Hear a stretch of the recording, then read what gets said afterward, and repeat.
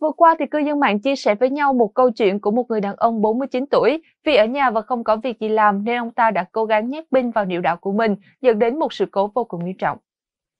Người đàn ông đã được phẫu thuật cấp cứu khẩn sau khi nhét một cục pin vào dương vật của mình và không thể lấy ra được. Người đàn ông này đã cố gắng nhét pin vào niệu đạo trong khi đang ở nhà và không có việc gì để làm. Theo đó, thì cục pin đã ở trong dương vật hơn một ngày cho đến khi anh ta cuối cùng phải lao thẳng tới bệnh viện và kêu gào với các triệu chứng tắc nghẽn đường tiểu. Ngay sau đó thì các bác sĩ đã tiến hành dùng thủ thuật để đưa chiếc binh tới nơi an toàn và không phẫu thuật sau 24 giờ. Tuy nhiên thì sau 5 tháng, bệnh nhân lại được đưa đến bệnh viện điều trị.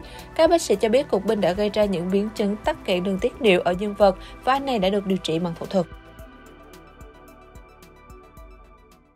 Hiện tại thì tình hình sức khỏe của người bệnh này đang có những chuyển biến tích cực và đây được xem là một may mắn đối với người đàn ông này vì sự nghịch giải của mình.